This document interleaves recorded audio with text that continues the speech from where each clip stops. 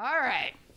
So first thing when we have a big giant word problem is we want to take some time and we want to look at it and we're going to try and find the information. We're going to look for our task and we're going to circle any data that's going to help us out.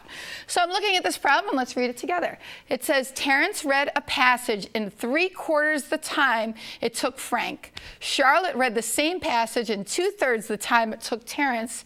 And Frank read the passage in 32 minutes. How long did it take Charlotte? So we're talking about three people here. Uh, the gist of the stories that everybody read it at different times, and we really want to know. Our task is we want to know how long it took Charlotte, okay? Unfortunately, to figure out how long it took us to find Charlotte, we're going to have to figure out how long it took each of the other people to figure it out. So I'm going to start out with a tape diagram because it's a nice physical way to look at this thing. So tape diagram, this stands for the whole.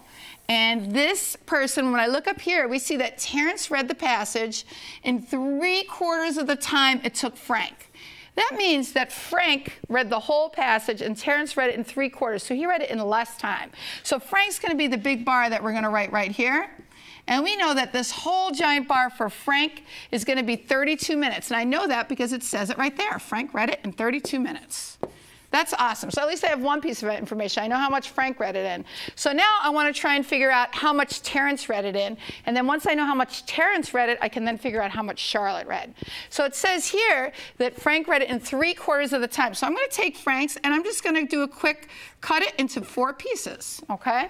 So when I look at these four pieces, I'm going to be able to figure out what three-fourths is. So first I'm going to figure out what each piece is worth. So if I have 32 and there's four pieces, I'm just going to make each piece worth 8. So this is 8, this is 8, this is 8, this is 8. So now I want to talk about Terrence, okay? So Terrence, uh, I want to switch color, but I don't think that's going to happen. All right, so when I look at Terrence, Terrence read it in three-fourths of the time. So I look, that's going to be 1, 2, and 3 out of 4.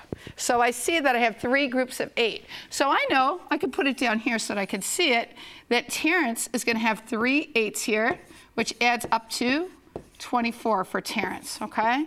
So that's Terrence. All right, the last one that we need to do, we're getting so close as we need to find out Charlotte. And it says in our reading here, we got to go back to the reading, that Charlotte read the same passage in two thirds of the time it took Terrence. So I'm going to look at Terrence's uh, values here, and I need to break them up into thirds. The good news is they're already broken up into thirds, each of them having eight. So I know that Charlotte was two out of the eight. So I'm going to look here, and Charlotte is two of the eighths. So let's just draw her outside of there so you can see it. And this is going to be Charlotte. And when I look at it, Charlotte is going to have two and 8 plus 8 is 16. That means that Charlotte read it in 16, let's see what we have, 16 minutes. So Charlotte read the answer in 16 minutes.